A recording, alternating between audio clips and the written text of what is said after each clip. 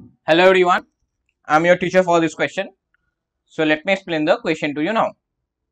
Methane on combustion gives option A CO2, option B H2O, option C both CO2 and H2O, option D neither CO2 nor H2O. Alright, तो question क्या कह रहा है कि methane को जब combustion किया जाता है तो वो क्या देता है option A CO2 option B H two option C C O two और H two O both option D C O two और एच टू के बीच में कुछ भी नहीं। तो इस क्वेश्चन को आंसर करने के लिए पहले हम लोग देखते हैं कि कॉम्बशन क्या है। तो कॉम्बशन बेसिकली है एक सब्सटेंस का, जब एक सब्सटेंस बर्न होता है इन प्रेजेंस ऑफ़ ऑक्सीजन तो it is the process of burning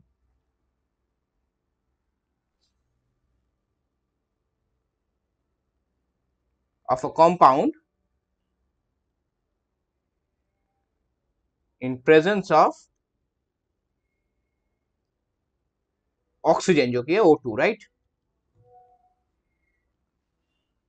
तो अभी देखते हैं मीथेन का कैरेक्टरिस्टिक्स तो मीथेन जो कि है सी एच फोर तो ये नेचुरली ऑकर करता है। सो इट ऑकर्स नेचुरली ये ग्रीन हाउस गैसेस है। ये one of the greenhouse gases है राइट सो ये एक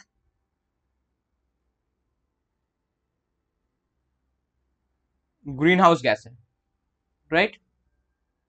और ये हाईली इंफ्लेमेबल है। हाईली